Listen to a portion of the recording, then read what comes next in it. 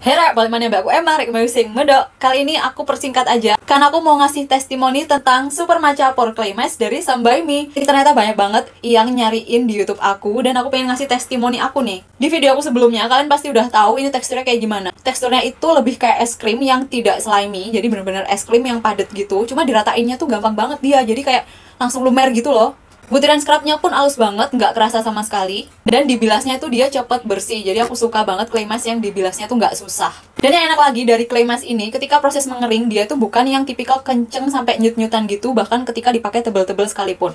Jadi ngeringnya itu kayak masih lentur gitu, elastis, sampai 20 menit pun, itu juga nggak bikin kulit kita yang ketarik banget aromanya gimana? Aromanya lebih ke kayak minty yang ada sitrusinya dikit gitu. Bahkan aku nggak nyium bau matcha di sini. Jadi kalian jangan nyari matchanya yang paling aku suka adalah efeknya di komedo aku. Jadi clay mask ini tuh kayak ngebuka pori-pori dan bener-bener ngedot komedo. Meskipun dia nggak ngilangin komedo tapi kayak komedo itu keangkat gitu loh ketika aku pakai clay mask ini. Tentunya bukan komedo yang dalam ya tapi yang di permukaan kulit ketika komedonya udah keangkat itu aku tinggal wipe aja sama exfoliator toner terus dikasih hydrating toner. Rasanya kulit itu langsung bersih halus banget karena memang komedonya itu kayak udah bersih gitu loh. Menurut kalian yang penasaran ini clay bikin kering kulit nggak? Di kulit kering aman? Enggak menurut aku ini aman banget karena clay masknya itu cukup hydrating gitu loh. Jadi ketika dibilas dan dihandukin dia tuh masih tetap ninggalin hidrasi yang cukup. Nah kalau dilihat dari ingredientnya ini tuh mengandung BHA alami dan teh hijau gitu yang mana bisa membersihkan sel kulit mati dan membuka pori-pori. Terus clay itu berasal dari kaolin dan bentonat yang mana membersihkan isi pori-pori dari komedo minyak dan kotoran. Nah, setelah dibersihkan, diangkat, itu tuh ada agen pelembab yang ngisi pori-pori.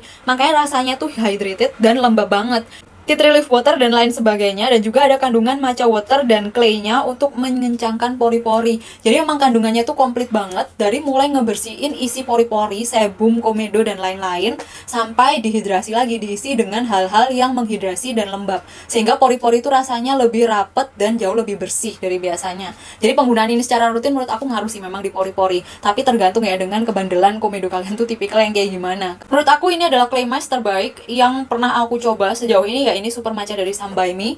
Karena beneran dari segi harga, tekstur, aroma sampai ketika dioles dan dibilas itu dia mudah dan nggak nyusahin terus hasilnya nyata gitu loh. Jadi the best clay mask sampai saat ini menurut aku ini. Semoga review aku bermanfaat.